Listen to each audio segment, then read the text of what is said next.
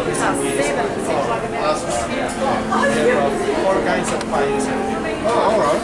So there might be something different tomorrow. In this pie, vegetable pie, some steak and mushroom pie, pie. I'll come by tomorrow. Thank you very much. Thank you very much.